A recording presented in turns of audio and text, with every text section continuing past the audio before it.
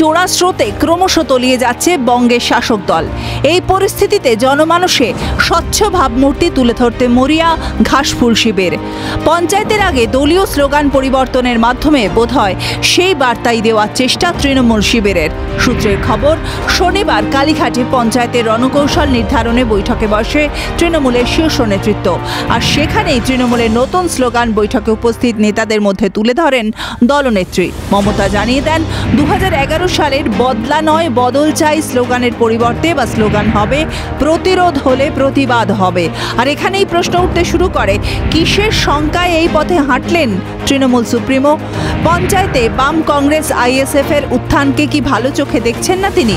বিরোধী শক্তি প্রতিরোধের রাস্তায় হাঁটলে কি তবে প্রতিবাদে গর্জে উঠতে চাইছেন তারা?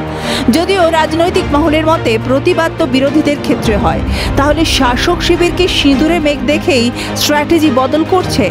নাকি পঞ্চায়েতের মুখে দলীয় কর্মীদের প্ররোচিত করার চেষ্টা? প্রশ্নটা থেকেই যাচ্ছে।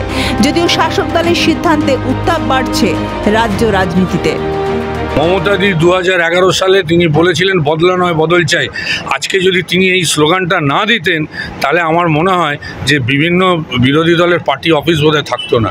কে শুধু আমরা শান্তি চাইব, আমরা বদলা চাইব না, আর কেউ উস্কে দেবে, আর ইচ্ছাকৃতভাবে গণ্ডগোল করবে, আর তৃণমূল কংগ্রেস কি চুপ করে বসে দেখবে?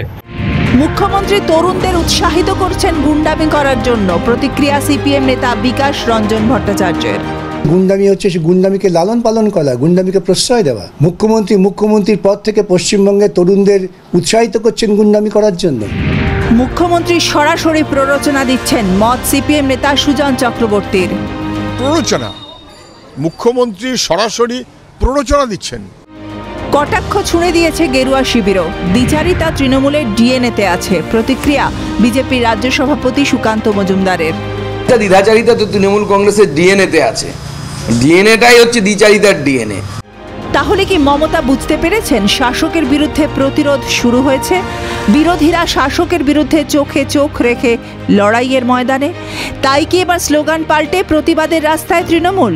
Bureau report Calcutta news.